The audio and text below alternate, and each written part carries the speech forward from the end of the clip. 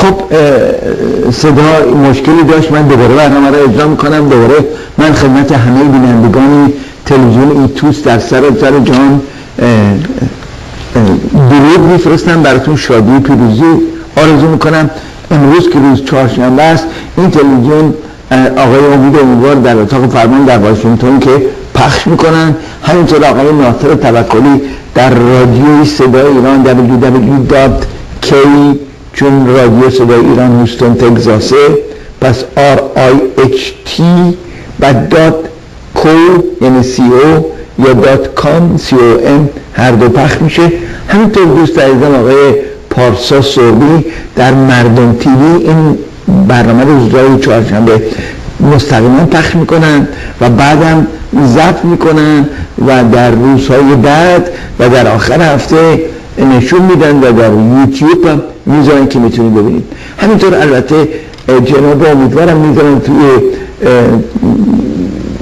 روکو اگه بگیرید ببینید توی روکوی قسمتی هست که برنامه های گذشته نشون میده و شما هر کدوم بخواید می‌تونید انتخاب کنید. مثلا برنامه دو روز پیش خانم مثلا مهرنگیز جانشایی یا مثلا خانم سروش یا مثلا آقای مثلا فرض کنیم که لاجوردی یا کسای دیگه بخواید می‌تونید برید اون رو ببینید انتخاب کنید. امروز که این برنامه خدمتتون تقدیم می‌کنم 16 همه دیماه 2574 هخام نشیست و برابر است با ششم ژانویه 2015 میلادی. من هر کس کاری دستش برمیاد انجام میده دیگه. منم کاری که دستم برمیاد انجام میدم. همتون می‌دونید که من یک چیز نوشتم یه دونه مقاله نوشتم که در مقاله نبودی اعتراض به کنگرسمن های سناتور های رئیس جمهور به دولت امریکا بود. که دوازده تا ماده داشت که دوازده تا آخرین مادهش به اونا مربوط نمی‌شد به خودمون مربوط می‌شد. چون آخرین مادهش که همون دوازده بود من دوازده رو براتون می‌خونم.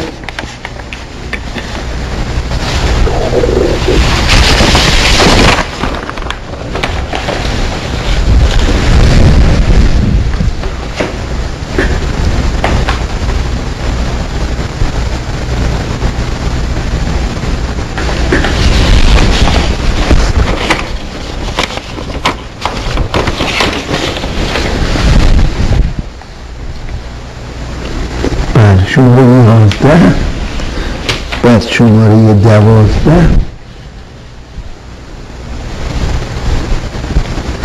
داشتم رسیدن به این وضعیت در اثر عدم آگاهی سران امریکا و برق دلارهای نفتی است و از طرفی به دلیل بیتفاوتی من سکوت من تنبلی تنبلی من و اینکه من که ضرر نمی‌کنم گروه بابای دیگران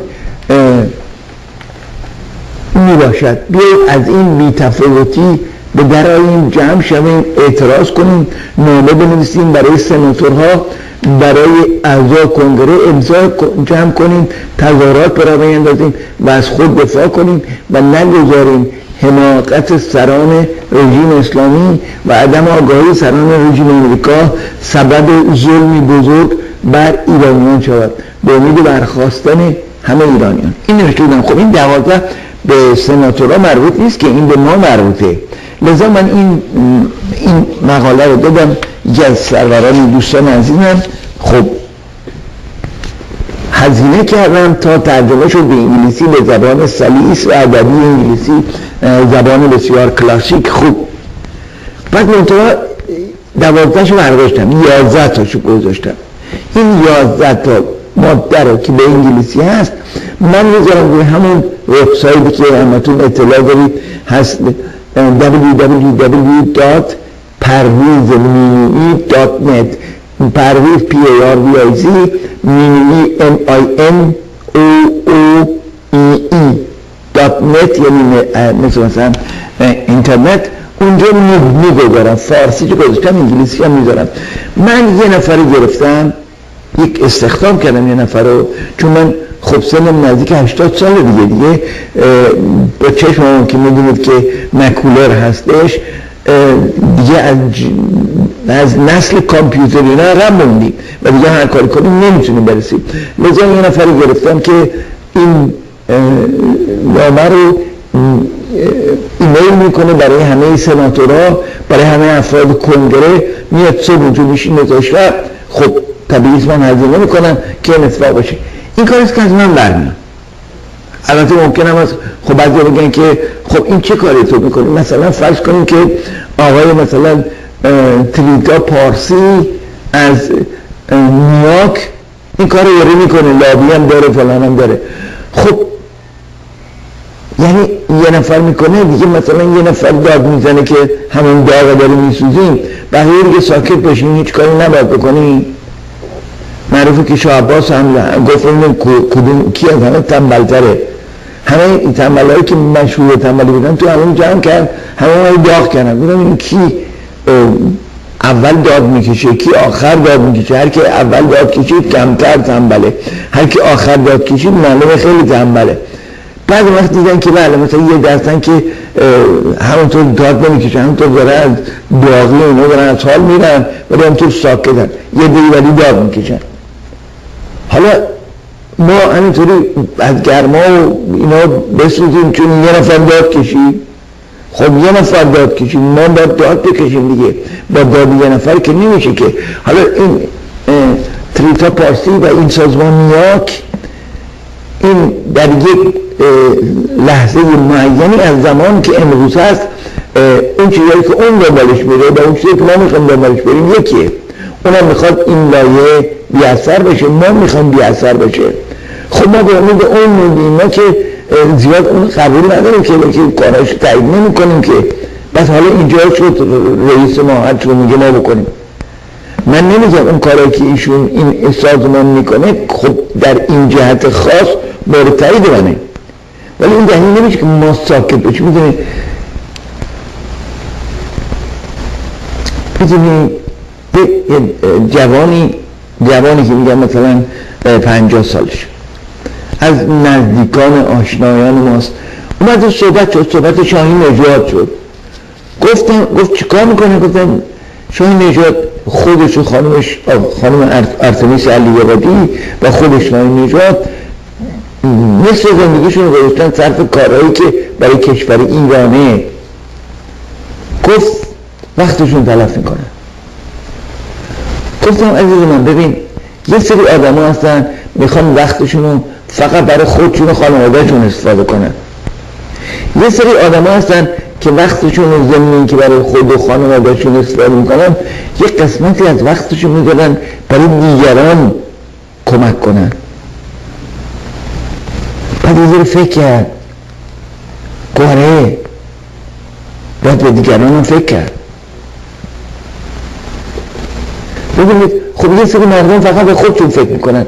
اینا دو گروه هن یک گروه اونا که به قول معروف دستشون به جیبشون نمی‌رسه مجبورن در تلاش معاش باشن. امروز که مثلا میرن صبح کار می‌کنن تا یه جایی رو می‌گیرن چون حقوقشون خوب نیست مثلا میرن تو دست چند ساعت کشیر میشن. یا میرن توی مثلا از این فست فودا چند ساعت هم اونجا کار می‌کنن. خب اینو از اینا نمی‌تونین توقعتون رو به فکر مردم باشن به فکر دیگر ایرانیان باشن به فکر دیگر مسلمان ها باشن به فکر دیگر مردم دنیا باشن.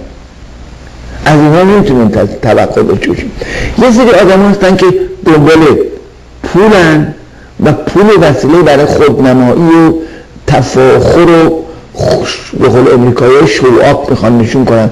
من ماشینم از همه بهتره خونم از همه بهتره لباسام از همه شیکتری گرونتره نمی‌دونم بچم گرونتری مدرسه میره از این دو چیزا. خب این خوبه. ولی اگر در کنارش این باشه که به فکر مردم باشیم اون وقت خیلی بهتر میشه به فکر مردم باشیم نه اینکه به فکر فقط همشهری خودمون یا هم میهنهای خودمون باشیم بلکه به فکر همه مردم باشیم. و لذا ایرانیان چون جز همه مردم به فکر اینا باشیم. خب.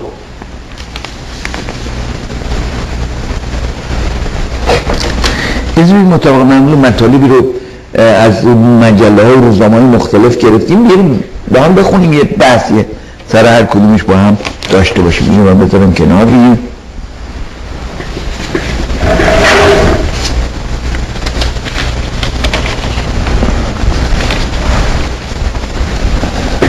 این بانو معلول ایرانی موفق به کسب صحنه المپیک شد. ببینید بانو خیلی کارش جالبه. من می‌خونم تا با هم بررسی کنیم. نوشته بانوی معلول ایرانی موفق به کسب صحنه المپیک شد. حالا این عکس این بانوه. می‌بینید که روی صندلی چخفار نشسته. حالا من بخونم براتون جریانش چیه. زهرا نعمتی. بس از کسب مدال طلای مسابقات آسیایی اینجون 2014 و و دریافت مدال از مسابقات جهانی 2015 دانمارک نتیجه درخشان دیگری به جا گذاشت و سهمیه المپیک گرفت.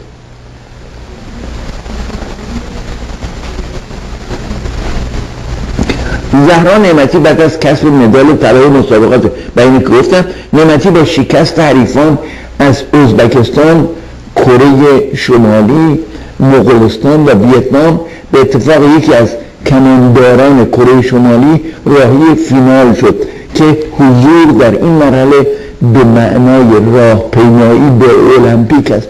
اون نخستین ورزشکار معلول ایرانی است که در المپیک حضور خواهد داشت نه در پارا المپیک پارا المپیک یک مسابقات مخصوص معلولینه.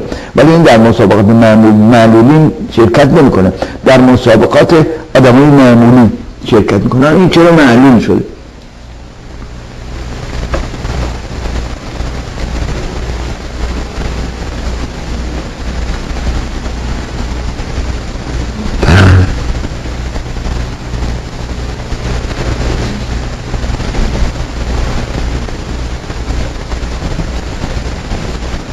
برای این قهرمان کاراته بوده.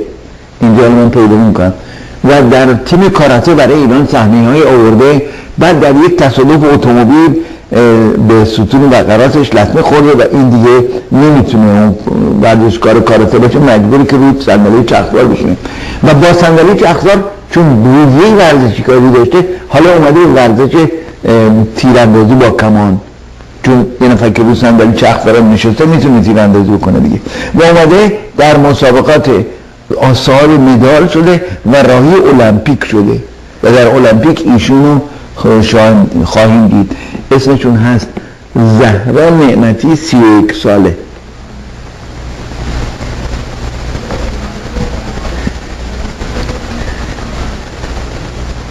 بر این واقعا اراده رو نشون میده. در یک رشته وقتی که می‌بینه نشد میره در یک رشته دیگری.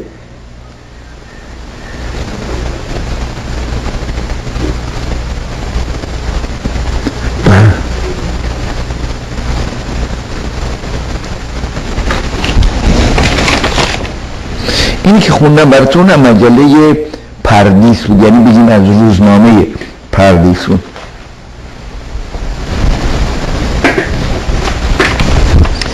این چیزی که می‌خونم براتون براتون از شهرونده شهروند در تورنتو چاپ میشه.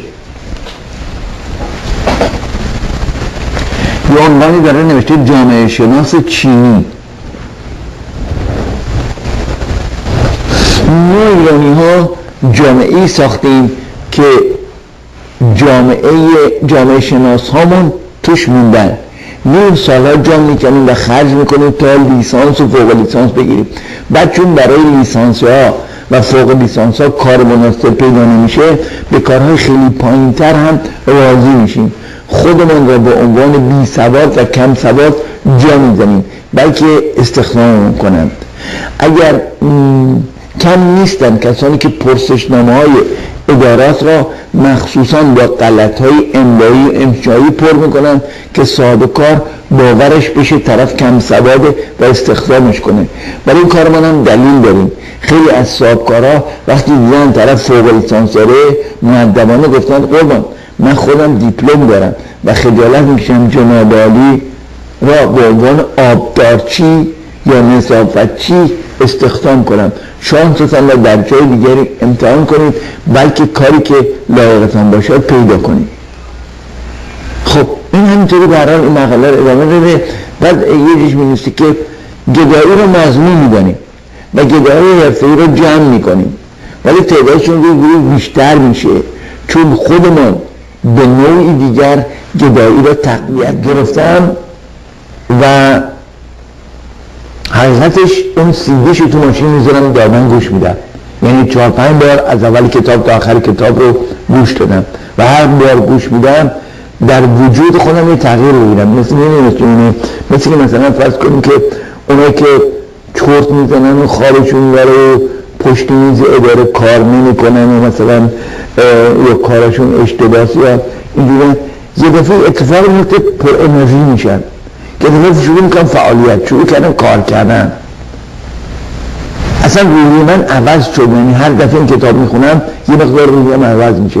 ببین همین در چیز در دین ما صدقه و رفع بلا و بلا داره میاد به طرف. من رفعش کنم بعد سرنوشت رو می‌دونم اینکه اینجوری شده و می‌دونم فلا در دین زردوش میگه که تو برو در کنار اهورامزدا بجنگ با اهریمن.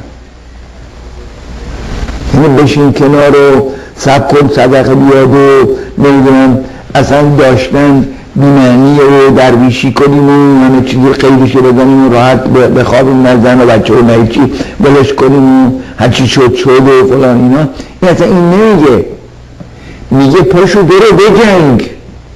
در کنار اهورامزدا در سرباز اهورامزدا بشو بجنگ با اهریمن. حالا اهورامزدا چیه؟ اهریمن چیه؟ اهریمن خرابیه. خوش شدن کشزار هاست خوش شدن درخت هاست مریضیه. تاریکیه. سرماست. بیخانمانه. این اهریمنه. اهورامزدا چیه؟ اهورامزدا نوره. گرمای مناسبه. مزرعه سرسبز درختان پرداره. سلامتی دوری بیماریه و این اهورامزدا تو برو بجنگ. تو نباید ساکت بمونی. تو باید در سرنوشت دخالت کنی. وقتی که اهورامزدا مشیا و مشیانه رو خلق می‌کنه میگه من شما را از زندگی گیاهی به زندگی جانوری تغییر دادم به زندگی انسانی تغییر دادم یعنی نمیگه از خاک و سنگ و گل درست کردم. میگه شما گیاه بودید من شما رو تغییر دادم به انسان. البته این همچین چیزی شدنی نیست. همه دینا قصن ولی یه قصه باعث بدبختی میشه یه قصه باعث پیروزی میشه. ببینید خانم آقایی نزدیک هزار نزدیک هزار و دویست سال هزار و پنجاه سال ایران نصف دنیا رو در اختیار داشت. در این مدت تنها سه تا دودمان در ایران حکومت کردن یکی هخامنشیان یکی اشکانیان یکی ساسانیان. شما کنید در این 1300 400 سال بعد 200 سالش که خود عرب ها بودن. بعدش می‌بینیم خب یعقوب لیس سفار میاد مثلا اولین حکومت مستقل رو به وجود میاره. همینطور یعقوب سفار بگیر تا آیان اونور بودن. بعد می‌بینیم مثلا فرض کنیم که سلجوقیان بودن اون طرف مثلا فرض کنیم که دیلمیان بودن. اون طرف غزنویان بودن. بعضی وقتا می‌تونستن مثلا یک زمان اینها رو همه یک پارچه کنن مثل زمان صفویه. که یک دودمانی به وجود من که مدت طولانی در ایران پادشاهی داشت. و یه مقدار آبادانی کردن. زرگاش تماش میگه آبادانی کنید آبادانی کردن. و اینو بقیه مثلا فرض کنیم که مثلا فرض کنیم که شاه عباس نه شاه عباس نه. شاه عباس که دوست صفوی نادر شاه. شاه خب درسته که در ایران ناامنی از بین برد. اون قلدرهای محلی از بین برد مردم رو به یه امنیت رسون و رفت مقدار طلا جواهر اونها از هندوستان رو چند سال مالیات ها رو بخشید و در مورد دین و مذهب هم گفت بابا یک کدوم یا یا شیعه یا سنی که رو انتخاب کنید یا آخه نمیشه که با هم بجنگیم که. این فکراش درست بود ولی آبادانی کاری نکرد.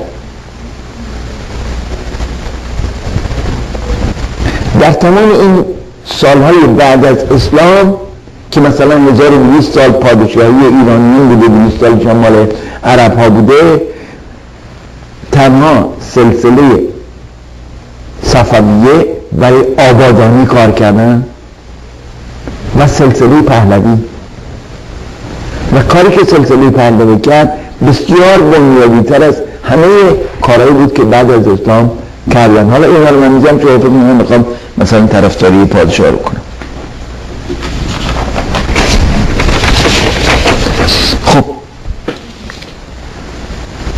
مطلبی هست از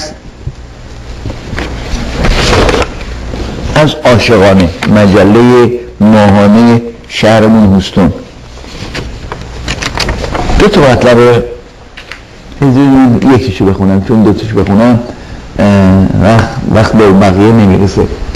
مدال طلای انجمن بین المللی اپتیک و فوتوپیک SPIE به استاد نادر انقطاع دانشمند برجسته ایرانی دانشگاه پنسیلوانیا اهدا شد. و این عکس آقای دکتر نادر انقطاع. آقای آقای انقطاع ناصر انقطاع. این اسمشون چند فامیل با هم دیگه. بله این آقای دکتر نادر انقطاع.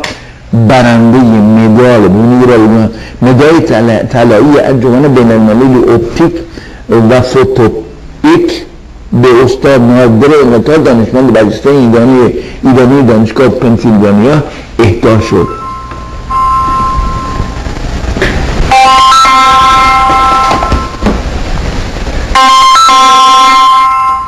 بله. انا من می‌گیرم میگه تلفنایی رو می‌گیرم که مگه آقای امیدوار باشه که کاری داشته باشیم.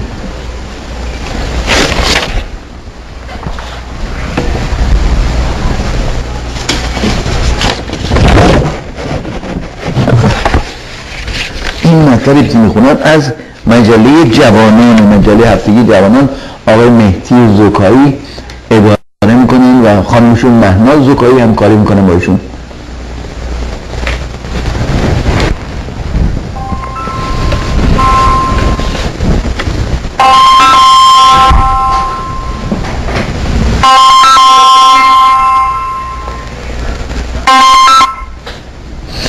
نوشته وایرلس کارل اسم نداره. بله شهر ایران بسیار برف اومده. شاید البته این خبر مال مثلا یکی دو هفته پیش باشه. تهران زنجان البرز قوم کردستان آذربایجان شرقی روی برف اومده که تعطیل شده. همچنین بارش برف روز گذشته البته که بودم دو هفته پیشه منجر به نقل یا تأخیر زیاد برخی از پروازها از فرودگاه تهران شد. خالته شنیدید که آب دریچه رضاییان یه مقدار زیاد اومد بالا و تقریبا دو سوم به هم به مساحت دو سوم مساحت قبل اصلی خودش رسید.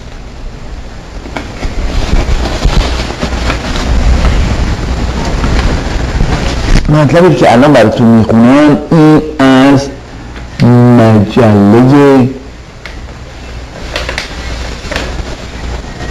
جوانان بازم از جوانان. مطلبی آقای انوشیروان کیهانی زاده بله دکتر انوشی دکتر نوشیروان کیهانی زاده مطالبی نیستن من یه تیکه کمه می‌خونم. اردشیر رضا. اردشیر اردشیر اردشیر منظور اردشیر پاپکان. بنیانگذار سلسله ساسانی. است اردشیر در آن مراسم مراسم 21 دسامبر 2033 2033 میلادی اردشیر سلسله ساسانیان رو پای گذاری کرده. همچنین توصیه کرد که ایرانیان زادرود خود را جشن بگیرند تا گذشت زمان را از یاد نبرند و نیکی کنند. وی گفته بود که نیاکان ما جشن تولد را مرسوم داشتند تا بستگان جمع شوند و اتحاد فامیل سست نشود. یعنی گفت اردشیر پاپکان گفت نیاکان ما روز تولد رو جشن می‌گرفتن به دو دلیل. یکی اینکه اون شخصی که تولدش میشه بفهمه که چند سالش شد. گذر عمر رو احساس کنه. بفهمه به چه مرحله رسیده و چه کارهایی بکنه. و همین که فامیل جمع بشن دوره هم یک همبستگی فامیلی به وجود بیاد یک روز شادی رو بگذرونن. هرودوت در کتاب یکم خود نوشته است که پارسا زادروز خود را جشن می‌گیرند و در این روز لباس نو میپوشند مهمانی میدن بستگان جمع می‌شوند و شادی می‌کنند. معلف برهان قاطع مارکس مولر کریست، کریستنسن مری بیس و تقریبا همه شرق شناسان ابداع جشن زادروز را به ایرانیان نسبت دادند که بعدا از طریق روم به اروپا انتقال یافت و جهانی شد. اینم یک سکه است که عکس اردشیر ساسانی اردشیر پاپکان این تو هستش. البته بله این عکس آقای اردشیر پاپکانه.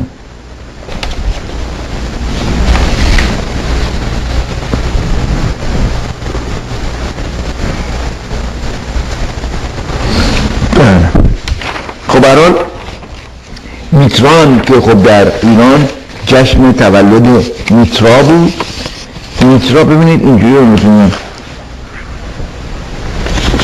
در گذشته خب این اطلاعات اینجوری که نبود که نمی‌دونستن مردم چجوریه که نمی‌دونستن مردم که خورشید حرکت خورشید چیه حرکت زمین چیه. و عجب.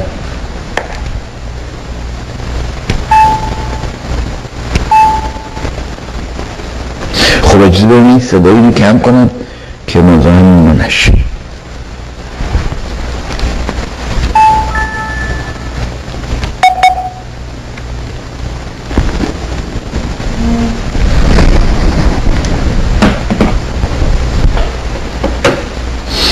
بله.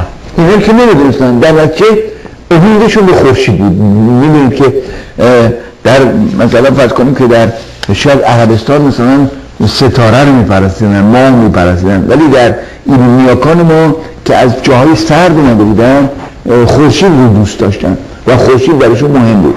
خب وقتی به ایران رسیدن خب فرق می‌کردن ولی وقتی که اون شمال بودن یعنی مثلا فرض کنیم که در یه جای بین آسیا و اروپا دقیقا معلوم نیست کجا برحال یه جای اونجاها جای نقاط سرد شمال بودن. پس بنابراین خورشید برایشون خیلی مهم بود. وقتی هوا سرد می‌شد سرما آزارشون داد ولی می‌بینیم روز کوچکتر میشه. خب نگران این بودن که نباید خورشید بره میره. بلکه کوچکتر میشه روز. خب این مقدار در وحشت اونا به سر بردن. بعد ما محاسبه کردن حساب کردن و او هر سال خورشید روزا کوچک میشه خورشید کمتر در آسمان پیدا میشه تا می‌رسه به شب اول سا اول پایی اول زمستان. یعنی شب اول دی روز آخر پاییز. بعد متوجه شدن از این روز بعد این خورشید شروع می‌کنه بزرگتر شدن. یعنی روز ببخشید خورشید بزرگتر میشه. خورشید بیشتر در آسمان میمونه. روز طولانی تر میشه. و این رو جشن گرفتن و جشن یلدا گفتن. یلدا همین به معنی تولد یک کلمه است که سریانی فارسی هم نیست گرفتن. منتها عربا اینو گرفتن. تولد گرفتن ازش ولد گرفتن متولد گرفتن صرف کردن توی چیزشون و یه به یه شکلی در که مردم فکر این عربیه در حالی که عربی نیست. و هر لغتی که از هر زبانی اومده تو فارسی مورد مصرف شدنه اون لغت فارسی شده. مثلا پیاله یه لغت یونانیه ولی فارسی شده من دیگه نمی‌تونم یونانیه. سماور همه که می‌دونید یه لغت روسیه. ولی ما نمی‌تونیم بگیم این دیگه حالا روسیه این فهم این لغت فارسی شده. همینطور که بسیاری لغات دیگه. و لغات عربی اگر بیان توی فارسی و بخوان صرف و نحو عربی رو بیارن به زور به ما خب اون خیلی بده. اما اگه فقط لغت باشه عیب نداره. و به نظر من البته می‌دونم خیلی با نظر من مخالفم من به نظر این احترام می‌کنم. به نظر من لغات فنی باید با سازندش باشه. در اروپا این پرگاهی که اینطوری اینطوری اینطوری میشه امریکا میگن بلند کور. خب معنی نداره بلند اون رو در اروپا میگن پرژیانو یعنی پرده ایرانی. هیچ خجالت هم نمی‌کشن بگن این لغت ایرانی رو به کار حتی بدونید چرا میگن پرده ایرانی؟ چون اگر دقت کنید خونه های قدیمی ایرانی یکی که چوب پهن اینطوری داره که با یک میله این طرف این طرف توی جای کار گذاشته شده می‌تونه اینطوری اینطوری حرکت کنه. اینا همه رو یه چوب عمودی جلوش وصل کردن خونه قدیمی این چوبری که بالا می‌کنن اینا همه اینطوری میشن. چوبری میارن پایین اینا همه اینطوری میشن. اینطوری چون در ایران نور آفتاب زیاد بوده می‌خواستن خونهشون یه کار کنن که نور آفتاب رو به اندازه که می‌خوان بیاد تو و این پرده رو درست کردن با اروپایی که این پرده رو دیدن گفتن های پرسیانا. بعد بعد از اینکه این پرده ها بعدا نوع جدیدش که با نخ میاد بالا و با یه چیزی میره بالا همه با هم. چون مال ایرانی بالا نمیرد ولی ایرانی اینطوری بود. اینطوری بود. اینجوری می‌تونست تغییر شد مثلا این پنجره است. یه سری نرده های اینجوری به پنجره بود که اینجوری به بیرون نمی‌دیدی. اینجوری که می‌کردی بیرون نمی‌دیدی. اما الان که می‌کنن به نخ اینو میره بالا با یه دونه چوب همشون یه دونه چیزی اپایی میشه خب یکی مقدار مدرن مدرن. وقتی اینا نوع جدید به ایران اومد دوباره بیرون میگن پرسیانا دیگه نمیگن پرده ایرانی فکر میگن پرسیانا یه چیز خارجیه. در حالی که پرسیانا این پرده ایرانی حالا پنسیلین ما نمی‌تونیم پنسیلین عوض کنیم رادیو رو نمی‌تونیم عوض کنیم. به نظر من لغات فنی رو تکنیکی رو اجازه بدیم جهانی بشن. اجازه بدیم همه دنیا به اینترنت بگن اینترنت. به احترام اونی که ساخته اون یا برقرار کرده و اسم خودش گذاشته اسم خودش گذاشته اسم خودش که نداشته که. من یه دونه استاد داشتیم دکتر زرگری استاد گیاهشناسی بود. این می‌گفت مثلا من یه گیاه رو من پیدا کردم. گیاه رو پیدا کردم که توی جدول ردبندی گیاهانی که ثبت شده هنوز وارد نشده. گفت من اسم این گیاه رو گذاشتم هاجرون هاجریون. چون اسم مادرم هاجره. خب هاجریون دیگه. نمی‌تونین که مثلا این گیاه ببرم مثلا توی انجمن جهانی که ثبت کنن بعد مثلا توی فرض کنید که لندن یکی این گیاه رو بگه بگه هاجریون چیه؟ من می‌زنم اسم مادرم. مریو اون گذاشته دیگه. این همینه. حالا البته بازم بگذارید هر جو خودتون دوست دارید.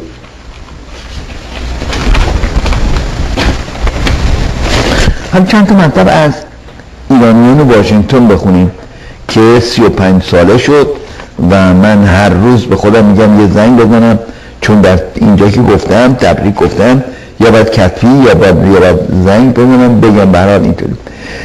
نوشته که آقای نادر صدیقی آقای نادر صدیقی میانده توانای تلویزیون هستن که در مراسم خیلی خیلی رسمی ایشون دعوتشون می‌کنن. از جمله مراسم یادبود شاهزاده رضا علی رضا پهلوی که خودکشی کردن ایشون اومدن در واشنگتن در اون جلسه بودن و بسیارم خوب برنامه رو اجرا کردن. ایشون این مطلبی نوشتن عنوانش اینه.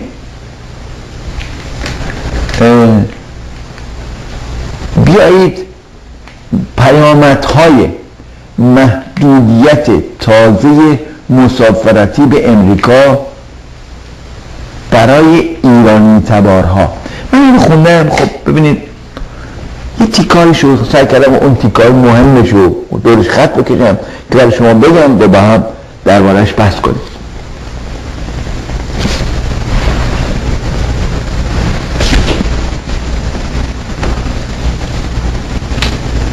نوشته که شورای ملی ایرانیان امریکا در ادامه در ادامه به که از جانب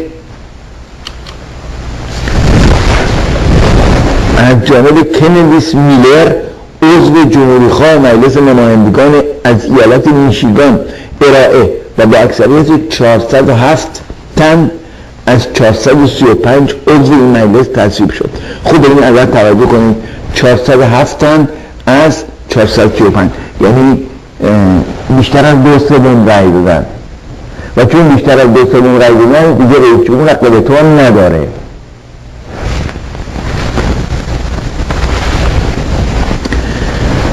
و افزوده است بر اساس این لایحه در مقررات مربوط به معافیت های روادید تغییرات ناعادلانه در نظر گرفته شده در حال حاضر شهروندان 38 کشور از جمله یکتون باشه. در زمان رژیم قبلی این تعداد 38 تا یکی هم ایران بود. ایران هم می‌تونست به ویزا بیاد امریکا در حال حاضر شهروندان 38 کشور از جمله اعضای اتحادیه اروپا ژاپن و کره جنوبی من مطمئن نیستم که ایران در زمان شام می‌تونست بدون ویزا بیاد امریکا یا نه. ولی اغلب کشورهای اروپایی رو می‌تونست بره.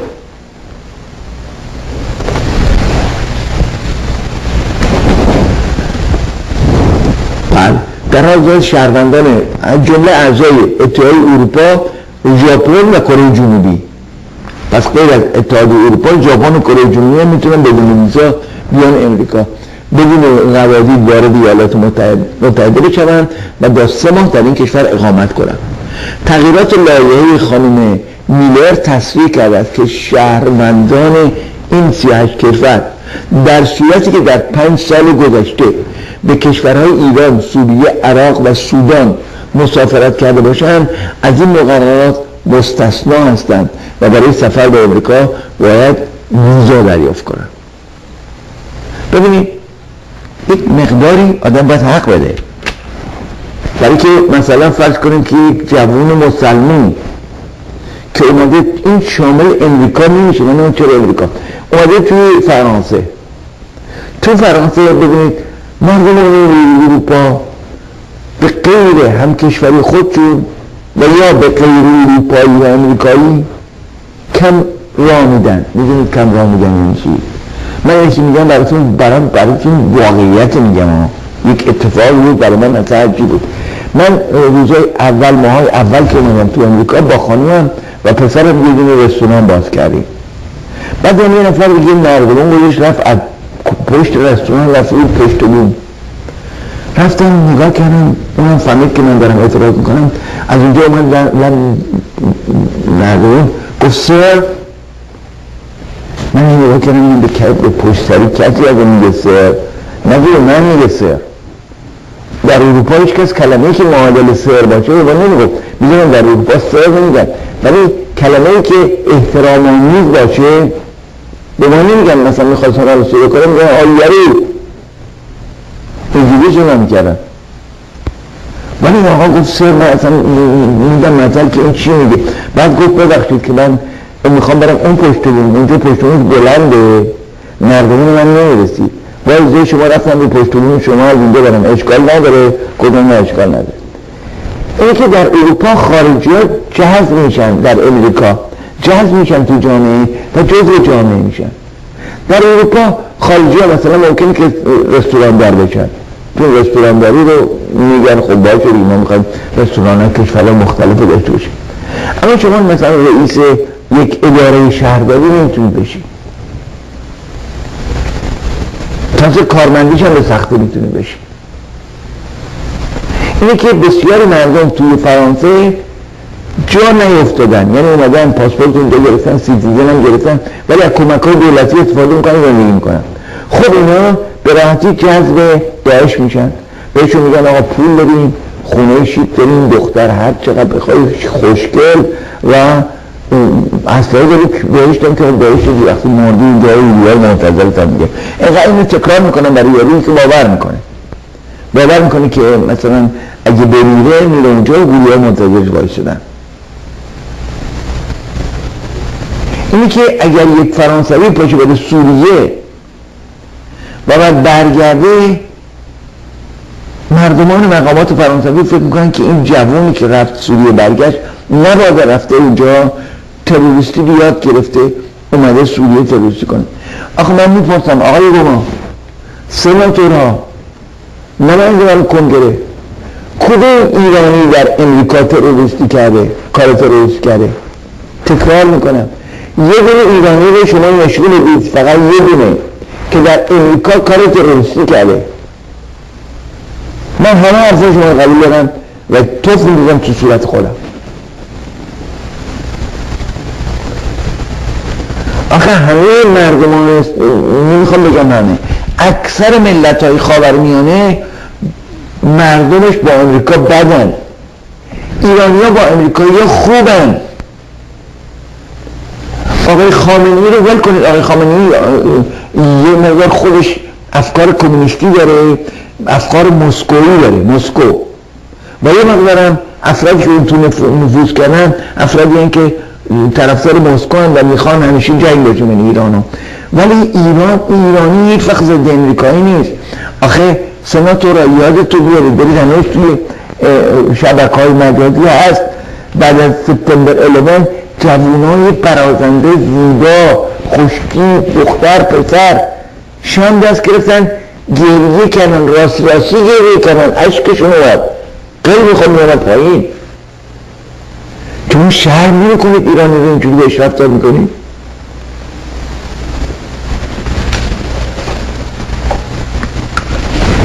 دنبالی مطلب آقای صدیقی رو. نابر صدیقی.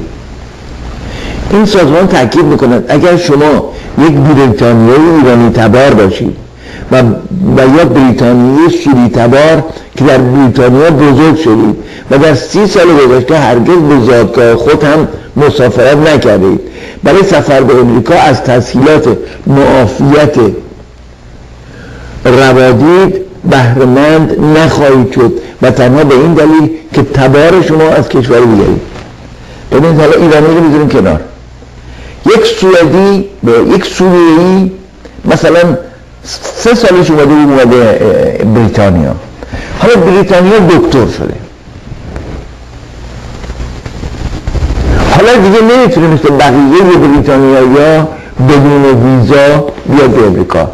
بعد می‌خواد بیاد امریکا بعد بره ویزا بگیره. جرمش چیه که فرق داره با این بقیه مردم؟ جرمش اینه که تبار سوریهی داره.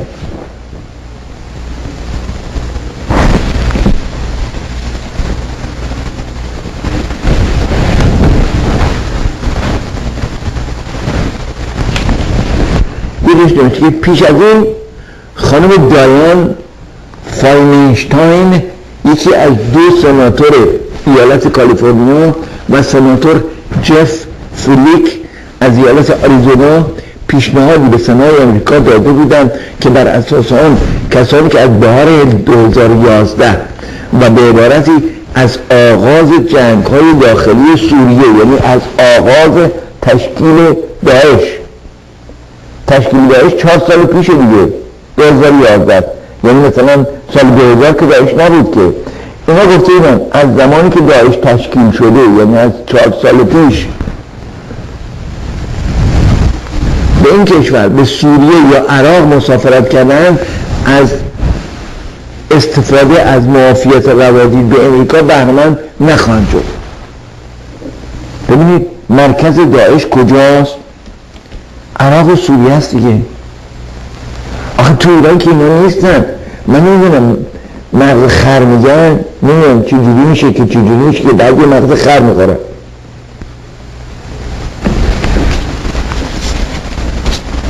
بخشید من عصبانی میشم یه دفعه آمریکا در چارچوب تشدید تمهیدات و تدابیر امنیت داخلی این کشور به پیشنهاد خانم میلر تمایل نشان داد. یعنی عراق و سوریه هر کی بره نتونه بیاد. با اونها با توجه به سخنان اخیر باراک اوباما مبنی بر لزوم اقدام کنگره در زمینه جلوگیری از راه های نفوذ تروریستا به خاک امریکا این رایه الان که ما می‌خونیم قانونی شد. رئیس مجلس نمایندگان امریکا تاکید کرد در نیروهای مسلس امریکا نه تنها سربازان مسلمان فراوانی خدمت می‌کنند و جان خود را برای این سرمایه فدا می‌کنند بلکه در همین مجلس نیز نمایندگان مسلمانی حضور دارند که شب روز برای پاسداشت قانون اساسی امریکا میکوشند. از اون سرباز مسلمان اون سرباز امریکایی مسلمان که رفته این بیرون می برای امریکا بخواد برگرده باید چیز بگیره ویزا بگیره؟ اصلا سفیر امریکا در کشور سوئد یه خانم ایرانی. خب این خانم ایرانی می‌خواد بیاد امریکا خانم بشه باید ویزا بگیره.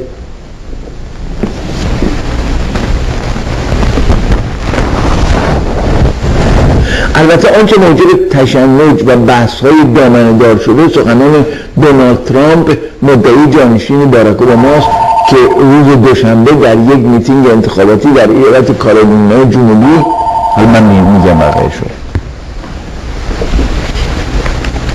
الو. درود بر شما. حالتون چطوره؟ گوشی داشته باشید آقای ناصر توکلی مدیر رادیو ایران همون رادیویی که در هوستل تگزاس است. همیشه من لطف دارن همیشه برنامه من همزمان که از این تو میشه ایشون هم همزمان پخش می‌کنن. روی خط هستن. آقای توکلی خوش آمدید. خواهش می‌کنم. جان مینوی من ضمن این که می‌خوام شماره تلفن ها رو اعلام کنم یک چیز یادآور شما بشم. بفرمایید. یک نفری که در واشنگتن به عنوان پستی رفت در خونش کشت آقای تبا نامی بود که در واشنگتن این اتفاق افتاد. به طرف جمهوری اسلامی یک افغانی اونو کشت. هر که کشت بعدم رفت ایران و بر صورت اونجا مشغول کار. رفت افغانستان. حالا شما بهتر می‌دید نه ببینید این هم تو فیلم یه فیلم درست کرد آخه محسن مخمل با خیلی فیلمش سر صدا کرد و اعتراض کردم. گفتم تو اون آدمی که رفته یک ایرانی رو کشته کی بود اسم آقای که کشته شد؟ تبا تبایی آقای تبا تبایی رفتی آقای تبا تبایی کشتی تو اینو تو این فیلم سفر قندهار آقای مخمل باف اینو کردی دکتر گیاهی دکتر محلی چرا یک آدم قاتل رو تو تو فیلم بهش رول دادی؟ ببینید من گفتم یک ایرانی تا حالا تروریستی نکرده. شما درست میگید شخصی بود که در سالات در همین تگزاس در یک از شهرهای تگزاس زندگی می‌کرد و منم چندین بار دیده بودم. اومده بود در رادیو. این شخص که می‌خواست سفیر عربستان رو بکشه و پول می‌گرفت و می‌داد خلاصه اونم الان هم زندان همینجا اون شخص هم این دومیش. نه اون که کسی رو نکش که می‌خواست کاری کنه. آره می‌خواست کاری بکنه نه؟ می‌خواست آره نه. من ببینید من گفتم اگر یک ایرانی تا حالا در امریکا یک کار تروریستی کرده من توی صورت خودم توفین بدم. نه نه این می‌خواست بکنه نه نه آره. و پول رد و بدل می‌کردن پنجاه هزار دلار از این چیزا بود که می‌خواست سفیر اسرائیل بگیره. نه عربستان. عربستان راست میگه شما عربستان بگیره عربستان بله. به هر صورت من تلفن ها میگم و این چیزایی که من به یاد داشتم برای خیلی متشکرم که یادآوری فرمودید من این تبا تبایی اسمش چی یادم رفته بود؟ بله ولی چی کاره بود آقای تبا تبایی که کشتنش در همین شهر یکی از شهرستان تگزاس زندگی می‌کرد. هنوزم زندانه. اونم می‌خواد سفیر عربستان رو کشتن این آقای تبا تبایی چی کاره بود؟ به چه دلیلی کشتنش اون به صورت من نمی‌دونم ولی شما خودتون تحقیق بکنید. حتما حتما. مرسی. از خاطراتم میگم. بله بله. خیلی متشکرم که محبت کردید. روشن کردید منو. خواهش می‌کنم تلفن ها هم که دوستان اگر می‌خواید با آقای مینوی زنگ بزنید دویست هشتاد و یک هشتاد و سی و پنج سی شست و سه. یک بار دیگه میگم دویست هشتاد و یک هشتاد و سی و پنج سی شست و سه. این تلفن آقای مینویه تلفن گرد کنم مردم تیوی هم هست هفتاد و سه. نهصد و پنجاه. و هفت شست و یک پنجاه هفتاد و سه نهصد و پنجاه و هفت شست و یک پنجاه تلفن رادیو هفتاد و سیزده چهارصد و هشتاد و پنج 4300 پنج مزاحمتون نمی نه شما باید بقیه بگید. آقای امیدوار نگفتید. آقای سیاوش لشکری رو نگفتید بله آقای امیدوار تلفنشون هست 703 655 55 655 52 68 تلفن مجله بیداری رو که من تو خواهش می‌کنم همین الان زنگ بزنید. این نقلیه بیداری یکی از بهترین هست. برای شما که مطالعه کنید و این مجله بیداری رو حتما همین الان زنگ بزنید به آقای سیاوش لشکری 858 320 دو صفر 13 858 320 دو صفر 13 اگر با من کاری دارید من خیلی متشکرم آقای توکلی عزیز. خیلی متشکرم که با این وضوع قشنگی و سلیسی این تلفن‌ها رو میگید که من به قشنگی شما نمی‌تونم بگم. خواهش مرسی.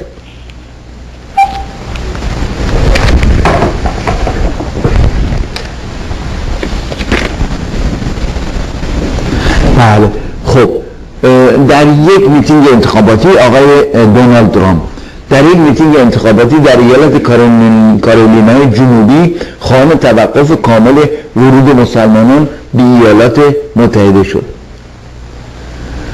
سناتورهای جمهوری خواه مارکو روبیو و تد کروز تد کروز اه، استاندار یا سناتور تگزاسه مال شهر ماست بران سخنان رقیب پیشتاز خود دونالد ترامپ را مردود خواندند و جف, جف بوش برادر رئیس جمهور قبلی و کریس کریستی دو تن دیگر از کاندیداهای انتخاباتی هم او را ساده نامیدند. سناتور با نفوذ جمهوری خواه جان مکین رقیب قبلی اوباما. اظهار اظهارات دونالد ترامپ را احمقانه توصیف کرد و گفت که تمام تمام سخنان او ابلهانه و بیمعنا بوده است. خانم هیلری کلینتون وزیر امور خارجه پیشین امریکا. بذار بقیهش رو در صفحه بعد.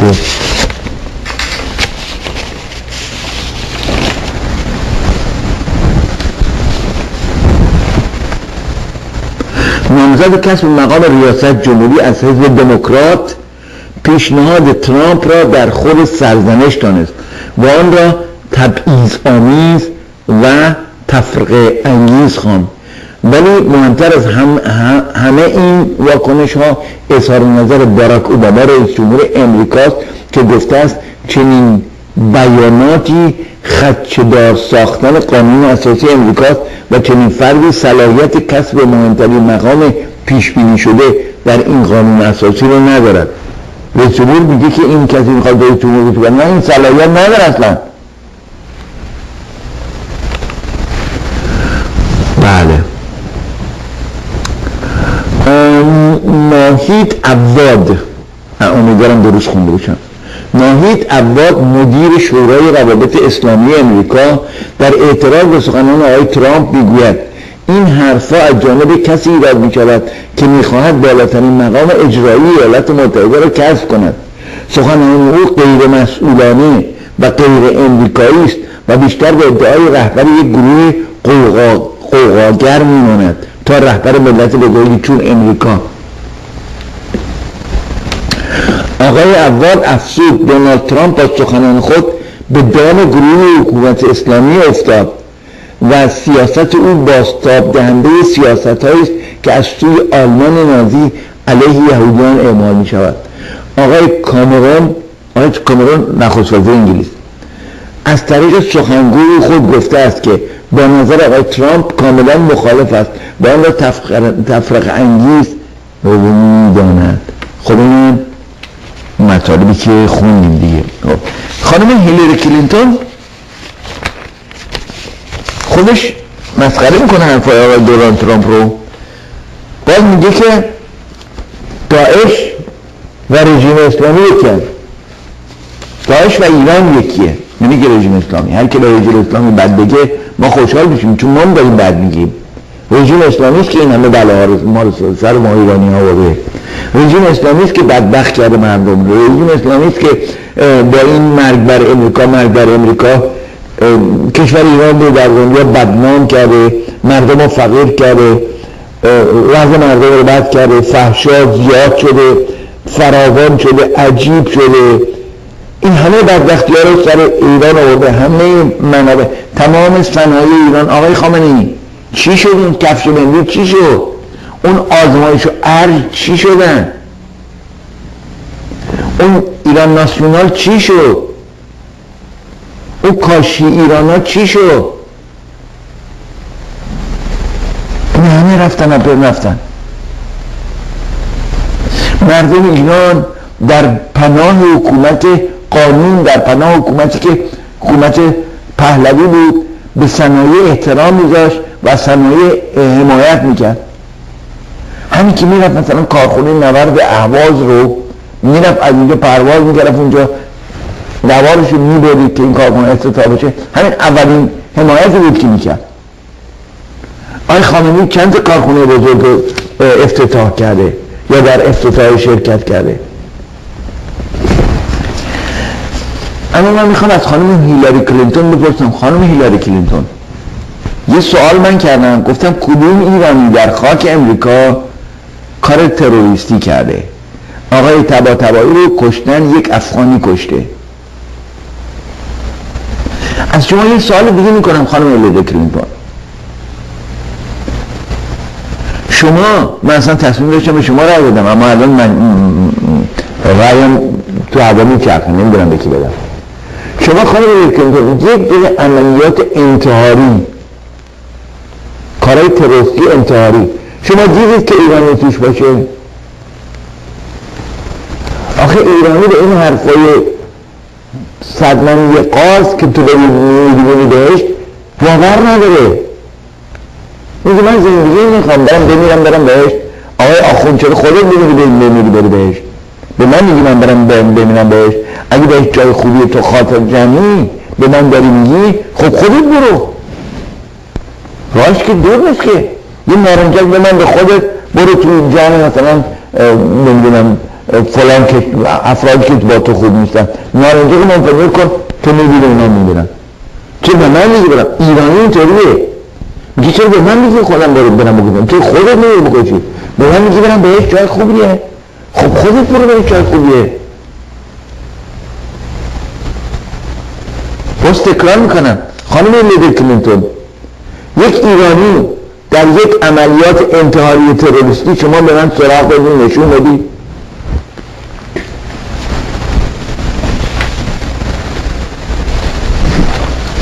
خب هم جشنهایی رو می‌بینه ایرانی ها دورم جمع میشن. خوشحال میشه از که به جای فوش دادن و هم دیگه جشن باشه. یه تیتری هست بدید تیتر رو با هم بخونیم. حمایش همبستگی جمهوری خواهان عرفی و حقوق بشر در ایران در واشنگتن برگزار شد. خب حالا من یه تیکاش بخونم براتون. یه چند تا عکس از توش نشونتون بدم.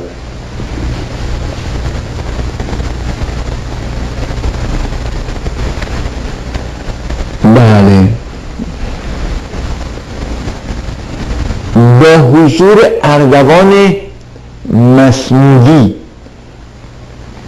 باربارا سالیوان نازیلا فتحی در دانشگاه جورج واشنگتن برگزار شد.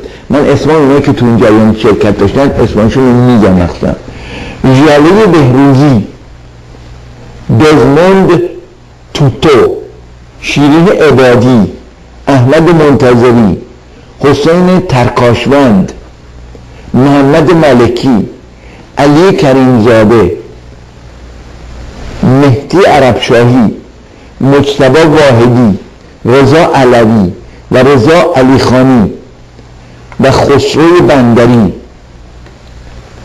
مهداد درویش پور علی افسری اکبر سیف مسعود فتحی. بیژن حکمت.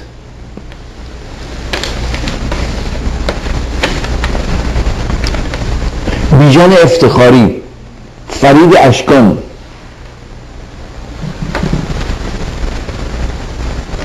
خب یه.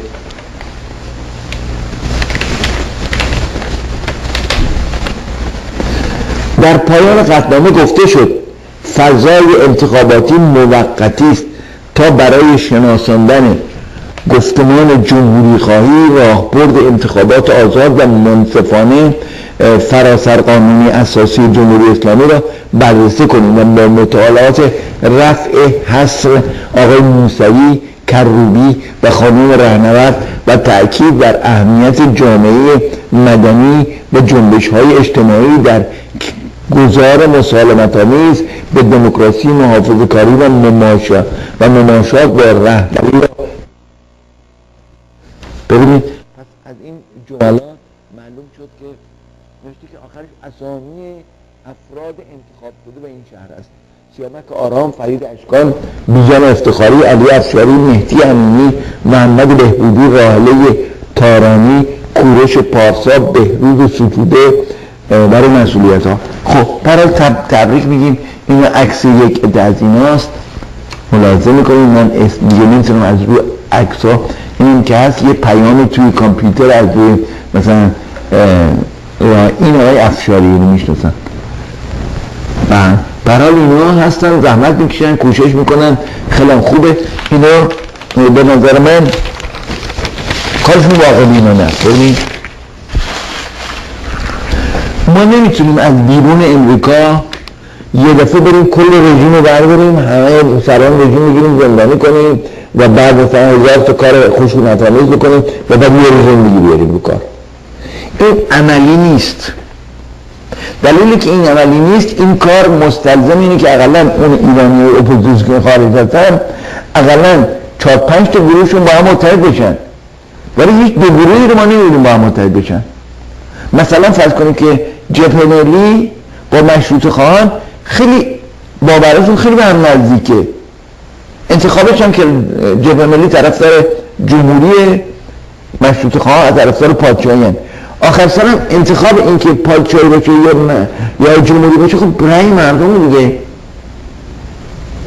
مثلا این گروه انجمن جمهوری خان این هم خب طرفدار جمهوری هم ولی اگه رأی مردم خب پادشاهی که میرن تفنگ بگیرن که خب اینو قبول می‌کنن و چون که این گروه ها متاسفانه به علت تحریکات رژیم اسلامی و به علت تحریکات سازمان های جاسوسی غربی ببینید خانم اونایی که این رژیم اسلامی رو اوردن سر کار اونایی که کمک کردن رژیم شاه آوردن پایین البته تقصیر اصلی مای ما ما اگر حواسمون بیشتر جمع بودیم اتفاق نمی افتاد منتها ما اشتباه کردیم. اشتباه کردیم.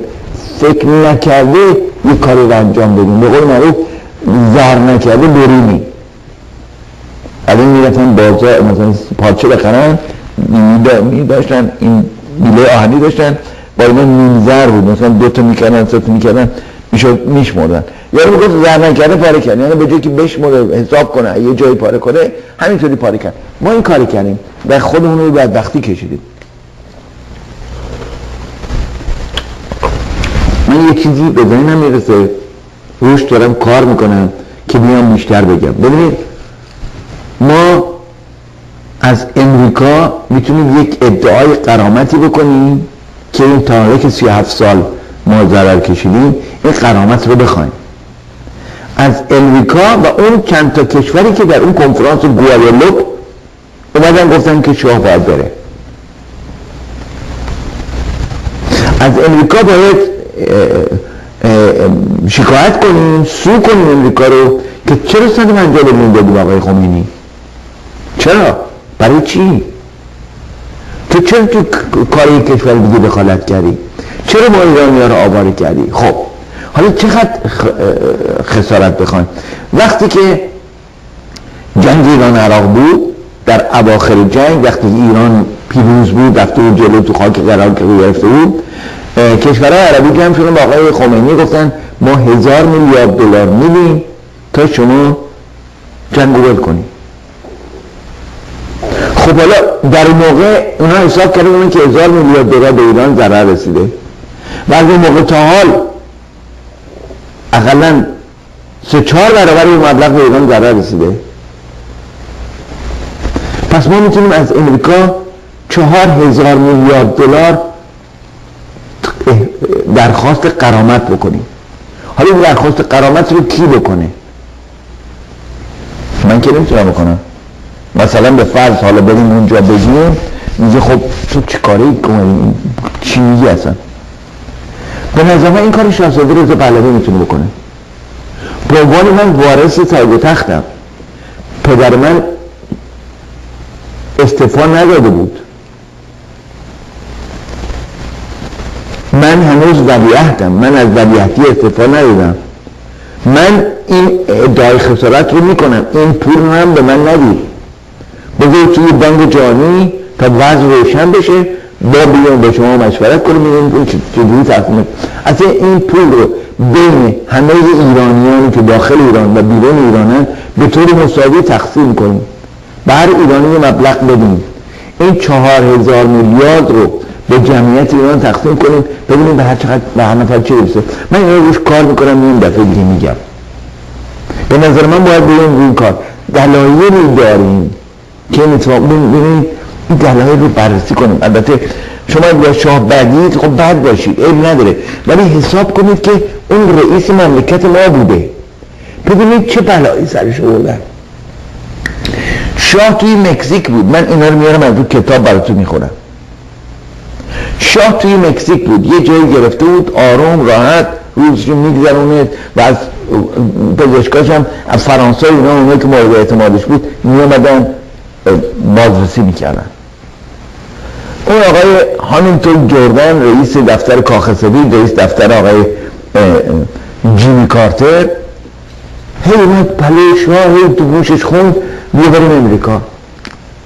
شاه گفته بود که من اگر بیام التماس هم بکنم دیگه پامو نمی‌گیرم تو امریکا. به زور خو آدم مریض. آقا بیا بریم اونجا دکترای فلان هستن فلان هستن وسایل بیمارستان فلان اینا. اینا اونجا چیه فلان اینا. بیا بریم اون یه دو هفته اونجا بمون بعد هر جا می‌خوای بری برو. به برش داشتم بردم توی امریکا. حالا من می‌خونم از اون کتاب که اون بیمارستان چجور جایی بود. اصلا وحشت می‌کنید از اون بیمارستان. بردم اونجا. به شما گفته بودن فلان تیم پزشکانی که شما خودتون می‌خواید اون تیم شما رو تو بیمارستان عمل می‌کنه. وقتی شما رفت اونجا اون تیمی که خودشون می‌خواستن رفت عمل کرد. ببینید این کار جنایت نیست؟ آقا من مریضم من سابقه پزشکی دست آقای دکتر فلاندرز مثلا که تو فرانسه است. من به ایشون زنگ می‌زنم ایشون پا میاد اینجا با تیمش دستیاراش میاد اگه لازمه من عمل جراحی می‌کنه. بهش میگم باشه بریم تو امریکا همه امکانات فراهم ببرم. میگن امریکا شروع می‌کنه تیم دیگه عمل کردن. قرار بوده تالشو و کیسه سفرت رو بدن. که خیلی سرطان توش نفوذ کرده باشه. یه بخشی که من می‌بینم وقتی بر نمیدارم چون باز می‌کنی قسمی سرطانی دوره می‌دونی تو من دهن من دوره میرون تو بدن من دوره میرندی بچه ها این با این بدبختی این بیچارگی تموم شد. حالا می‌خواد برگرده مکزیک دولت مکزیک نه من دیگه نمی‌خوام تو اینجا. تا اینجا بود بیرونش نمی‌کردن. ولی وقتی رفت امریکا حالا شاید امریکا به مکزیک گفته یه جوری کرده که نمیگیرنش. بعد مجبور شد بره پاناما. بعد این رهبر پاناما که مثل پاناما یه رئیس جمهور داره یه رهبر داره در اون زمان حالا. رهبر پاناما می‌خواد چه تحویل بده به قطبزاده. بعد داره مذاکره می‌کنه. از اینجا هواپیما برن باهاماس از باهاماس برن مثلا مصر. اونجا هواپیما چهار ساعت میمونه. آه چهار چهار ساعت میمونه؟ بعد وقتی در هواپیما باز میشه برن هواپیما که داره میره بس شاه شبانی میدویدن انگار فرار می‌کنن. فیلماشون هست. آقای رضا پهلوی بر اساس همه اینا چیکار کن؟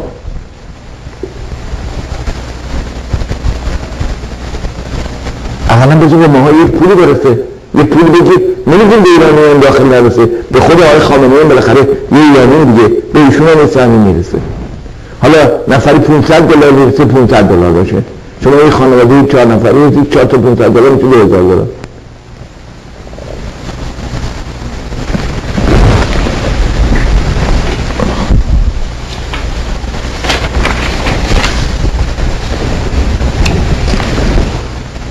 آقای دکتر کاظم ودیعی.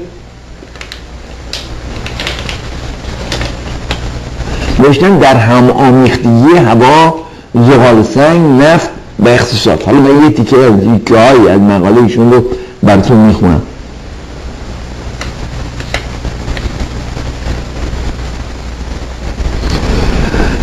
و آژانس جهانی انرژی حد قوی دارد در افزایش بهای نفت تا حد هر بشکه 80 دلار از امروز تا سال 2030 یعنی در 15 سال آینده. اما امریکا این رقم رو در حد 50 دلار برای هر بشکه می‌بیند.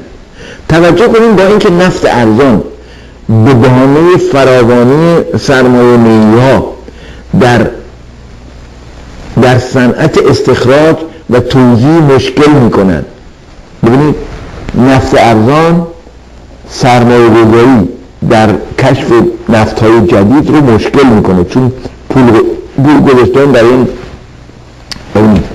نفت عربستان سعودی نفت ایران هم در بعضی بسیار جاهای اینطوریه. نفت خاورمیانه خیلی جا شما چاکی کندی رسید به نفت خودش میاد بالا. یادتون است نفت قوم یه دفعه آتیش گرفت و چاه همینطور نفت ازش میامد بیرون آتیش گرفته. چندین ماه این نفت میسوخت کارشناس مختلف اومدن بالاخره یه آقای کندی بود. اومد این نفت و آتیش خاموش کرد. متخصص این کار بود. تو جهان از نفت آتیش گرفت می‌رفت خاموش کرد خب نفت همینطور میاد بیرون. اما نفت مثلا فرض کنید که نفت شیک در امریکا که از سنگ های روسی ورقه می‌گیرن خیلی گرون تموم میشه.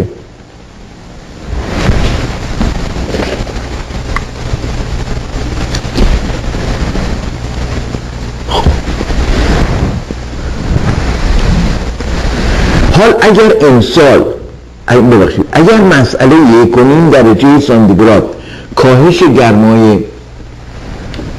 کره زمین را با موافقت ارزان و ضرورت سرمایه ها در هم جمع و ضرب کنیم می‌رسیم به اینکه تحولی در فناوری ها ضرور است اما این تحول نیاز به سرمایه نهی بسیار هم دارد. پس بهای بشکه نفت باید بالا رود و تأمین سرمایه‌ای را نمی شود تنها به کمک دولت ها جبران کرد. ببینید.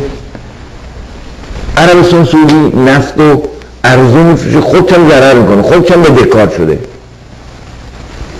یک مسئله بود. تفریش من 6 سال در تفریش بودم. یه مسئله داشتن. گفتن خر خلج. خلج یه تایفه بودن که مسافر با اولاغ این برو می بودن گفتن خر خلج خودشو میندازه تو دره که به صاحبش ضرر بزنه. یعنی خودشو میندازه تو دره که بمیره منتها صاحبش یه خرش کم شده دیگه خراب دست داده دیگه. یعنی این البته ضرب المثل بود دیگه. حالا عربستان سعودی برای دشمنی با ایران رژیم اسلامی و با پوتین حاضر خودشم به میلیارد میلیارد دلار قرض بده که اینا, اینا ضرر ببینن.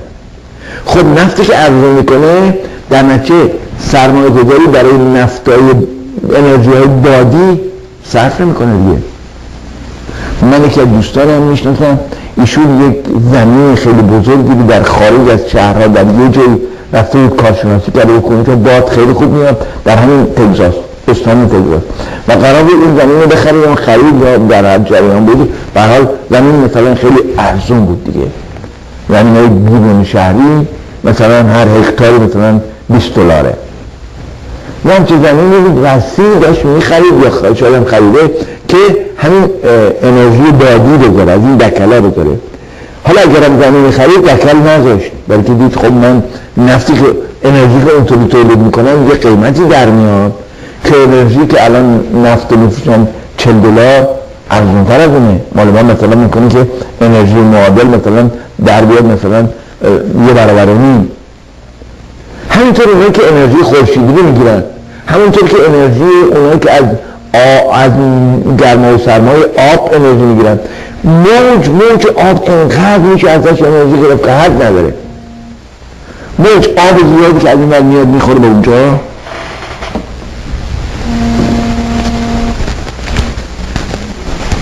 الو. درود بر شما عزیز. امید هست امید درود درود. درود خاموشی داشته باشه اجازه بدید بله. جناب امید امیدوار هستم روی خط. خیلی لطف کردید. تشر... تشکر. خواهش کنم شما خوب هستین مرسی. سپاسگزارم از شما. من دیدم شما زنگ تفریح ندارین. گفتم یه زنگ تفریح بگم شاید به این موضوعی که شما گفتین هم بخوره. خیلی ممنون. خیلی متشکرم. مرسی. شما داشتیم می‌گفتین که آمریکا رو سو کنن و بگیرن. من یاد یک داستان بسیار جالبی افتادم. میگن یک آدمی بود یه اولاغ خری داشت. بله. بعد این- سوار خره می‌شد میزدش و این بار ازش می‌کشید میزدش و بار می‌کشید خلاصه سالها اینطوری بود. یه بار که داشت می‌رفت دیگه خره داره زیر زبونی چیزی میگه. گوش دادید داره میگه خدا اینو بکشش فلکش کن کتکش بزن. از بین ببرش این پدر من در آورده اینا. این که سوار خره بوده خره میگه آخه خره نفهم تو به جایی که دعا کنی من بمیرم؟ دعا کن که تو خر نباشی چون من که بمیرم یکی دیگه میاد دور زمانت میشه تو وقتی تو خری. راست گفته راست گفته حالا حالا شما آمریکا رو سو می‌کنیم بعد باید بریم مغولا رو سو کنیم و بعد بریم عربا رو سو کنیم بعد باید بریم عراقی رو سو کنیم و بعد بریم روسیه رو سو کنیم و بعد بریم. ما همش هی همینطوری بمونیم اینا سوار ما میشن. من به نظر من اینه که به جای این بله. بریم که کاری بکنیم که مردممون با شعورشون بره بالا که سواری ندیم ما. بله بله بله درسته. شاید هم باشه خیلی هم جالب بود خیلی مثال جالبی بود خیلی مثال قشنگی بود. بله. من یکی که لذت بدم بعد ساعتا بهش فکر کنم. بله جون شما بدرود مرسی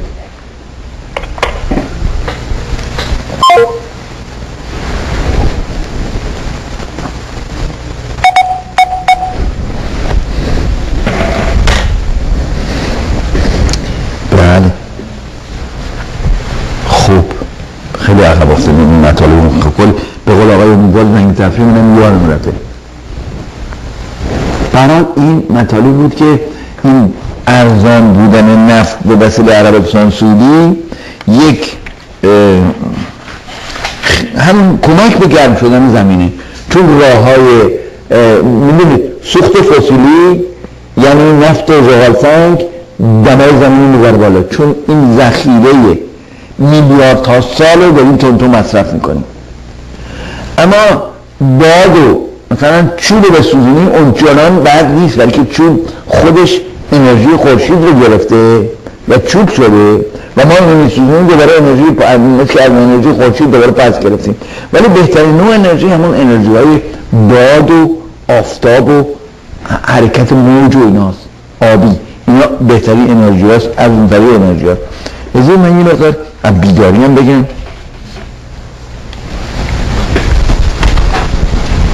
من یه زنگ تفریح هم حقیقتش گذاشته بودم منتها یادم رفت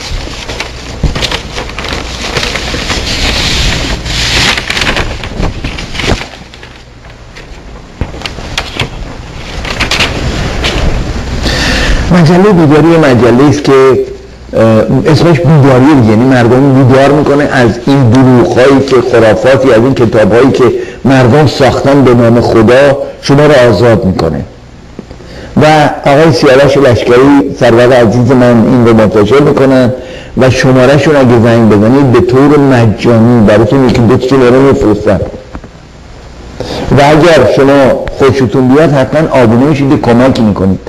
انقدر این مجله به ایران میره انقدر در ایران طرفدار داره که حد نداره.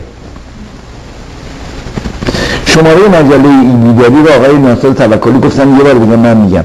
858 320 2013 تکرار می‌کنم. 858 320 2013 مطالبش رو علیه رسیدی. می‌خونم اگر می‌دونیم برای دفعه بعد.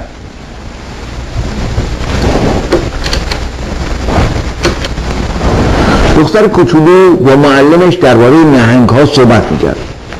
معلم گفت از نظر فیزیکی غیر ممکن است که نهنگ بتواند یک آدم را ببلعد. زیرا با وجودی که پستاندار عظیم جثه‌ای است اما حلق بسیار کوچکی دارد. دختر کوچک پرسید پس چطور حضرت یونس به وسیله یک نهنگ بلیده شد؟ معلم که عصبانی شده بود تکرار کرد که نهنگ نمی‌تواند آدم را ببلد این از نظر فیزیکی غیر ممکن است. دختر کوچک گفت وقتی به بهشت رفتم از حضرت یونس می‌پرسم. معلم گفت اگه حضرت یونس به جهنم رفت رفته بود چی می‌کنی دختر کوچک گفت اون وقت شما ازش بپرسید.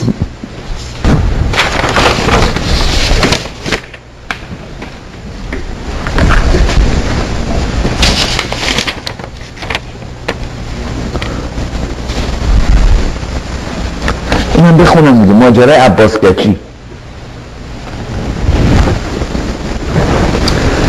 در روزگاری که هنوز پای ماشین به زندگی ایرانیان باز نشده بود مردم جهت حمل مسائل ساختمانی از الاغ استفاده می‌کردن و جماعتی که این شغل را پیشه خود کرده بودن الاغدار مینامیدن در میان این سنف شخصی به نام عباسکچی که صاحب بیشترین الاغها بود و برای خودش صاحب اسم رسمی بود. عباسکچی آدم خوشمشرب و مردمداری بود و همه, را همه او را به خاطر درستکاریش دوست داشتن با بودی که مشروب زیاد می‌خورد و همیشه به دنبال اولاخهایش در حال جایی مساله بود با صدای دلنشین آواز هم می‌خواند مردم کاری به مشروب خاری نداشتن دست بر غذا بعد از مدتی در شکست می شود و از مال دنیا هیچ چیزی برایش باقی نمیماند. مجبور به فروش اولاخهایش می شود و محل زندگی خود را ترک میده آزم سفری بدون مقصد با جیب خالی و بدون هیچ امیدی سر به بیابان می‌گذارد پس از طی یکی دو روز پیاده روی تشنه و گرسنه به شهر کوچکی می‌رسد و به خاطر اینکه جایی نداشت وارد مسجد جامعه شهر می شود و در گوشه می نشیند تا چند روز توسط خادم مسجد پذیرایی مختصری می شود و کم کم وارد صف نماز جماعت شده ساکن مسجد می شود در این مدت به خطبه های ملای مسجد گوش کرده و از کتاب های مذهبی مسجد جهست کسب دانش مذهبی استفاده می و خیلی زود در دل مردم جا باز می پس از مدت این ملای مسجد فوت نموده و مردم او را به عنوان جانشین جانشین ملای فوت شده به امام جماعتی مسجد انتخاب می‌کنن. روزگاری به نیم منوال میگذرد و بعد از چهار پنج سال گذر یکی از همشهری های او به همان شهر میافتد. برای ادای نماز آزم مسجد جامع می شود و به دلنشین موعظه و تلاوت قرآن توسط مولای مسجد گوش می‌دهد. و شک می کند که آیا این همون عباسکچی است. پس از نماز سراغ امام جماعت رفته و ضمن سلام احوال پرسی می‌گوید حاج آقا شما شواهد بسیار زیادی به یکی از آشنایان من دارید به اسم عباسکچی مولای مربوطه پاسخ می‌داد من هم با عباسکچی هستم که می‌گویی. شخص می‌داد آخر چطور می‌شود که یک آدم عرقخور که همیشه کارش پشت سر اولاقها افتادن؟ و آواز خواندن بود کارش به اینجا برسد که یک مرد خدا و روحانی تبدیل شود. این یک معجزه الهی است. عباسکجی می‌گوید زیاد شلوغش نکن. و هندوانه زیر بغل من نگذار. من هیچ فرقی نکردم. و همان عباسکچی هستم. تنها فرقی که پیش آمده جابجایی من به اولاخاست قبلا من پشتر اولاخا بودم. حالا اولاخا سر من این مجلی تهرانی نوشته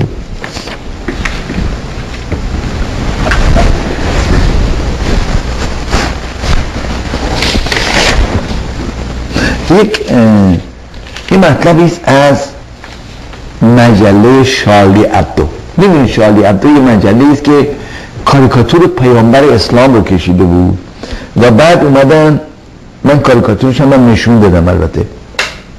بعد اومدن اون مجله رو کشتن دیگه. رئیس مجله و هیئت تحریه و چند نفر رو کشتن در پاریس. حالا ببینید چی نوشته. نوشته که رئیس رئیس نوشته که شما اسلحه دارید شامپاین. رئیس کاریکاتور کارتونیست و سردبیر نشریه شارلی ابدو در تازه ترین شماره نشریه که در پاریس منتشر شده می این تنها پاسخی است که میبایست به تروریستا بدهیم. تلاش شما برای ایجاد وحشت بیهوده است.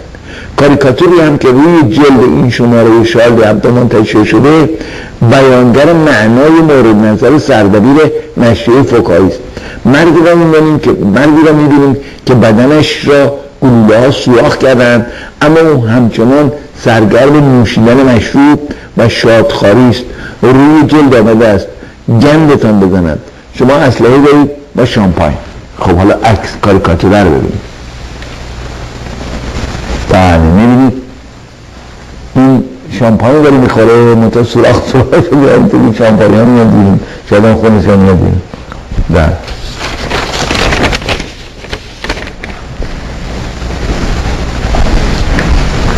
خب من دیگه فرصت ندارم. از آقای سیاوش لشکری نظرت می‌خوام. این می‌ذاریم جز اول قسمت دفعه بعد. خیلی متشکرم از جناب ناصر توکلی و از جناب امیدوار و دیگر عزیزانی که به برنامه توجه کردن. از شما خانم ها و آقایونی که به این برنامه توجه کردید بسیار سپاس گذارم یادتون باشه که دنبال می‌کنیم سو کردن امریکا و پولی که به هر ایرانی باید از اون قسمت از اون طریق برسه. حال حرف بی نمی‌زنیم این با حمله مغول فرق می‌کنه. حمله مغول قبل از تشکیل سازمان ملل بوده قبل از حضور ملت ها بوده. اینجا بعد از این بوده. این کشورها قانونایی دارن. یک کشور نباید داخل کشور دیگه دخالت بکنه. به حال من براتون شادی پیروزی تندرستی آرزو می‌کنم. شاد و پیروز باشید. خردتون راهنمایتان با